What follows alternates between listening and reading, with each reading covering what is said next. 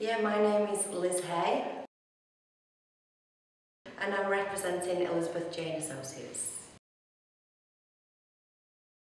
Yeah, we're business consultants helping companies and charities to grow and prosper.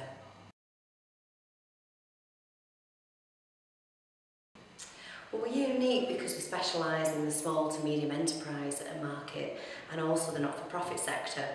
Uh, we're family run, which is unlike our competitors, and we uh, have strong social values, so we give back to society and we spend over 10% of our profits with community groups. A uh, black coffee, no sugar. Apart from working with a variety of clients that we do each and every week, I'd say when a client of ours um, had nominated us for an award this year, and it was for Professional Services Business of the Year, um, our second favourite moment was being uh, contacted to say that we were finalists.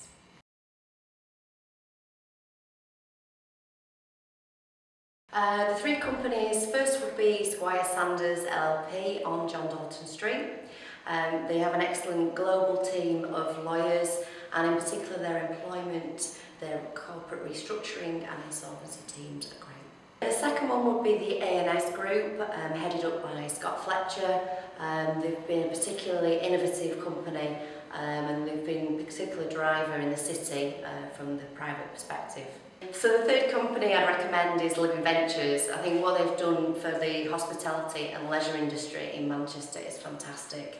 Um, places like the Manchester House, the House House and the Alchemist are great places to entertain clients.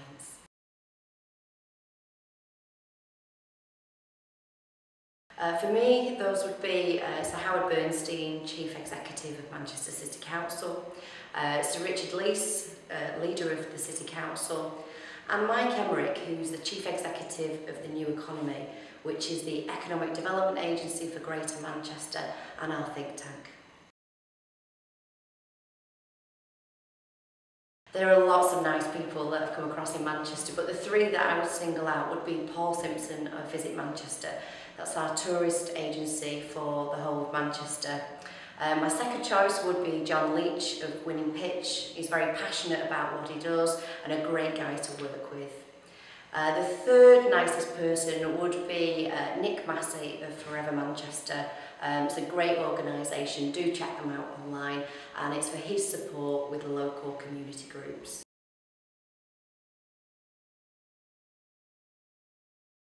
Definitely hard work. The second would be discipline. And the third for me, you need acts of resilience.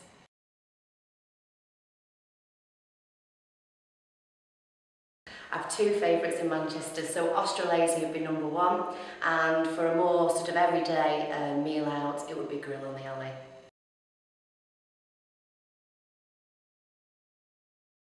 For me, I'd recommend the BNI network. Um, it's the largest, uh, fastest growing referral marketing group in the world.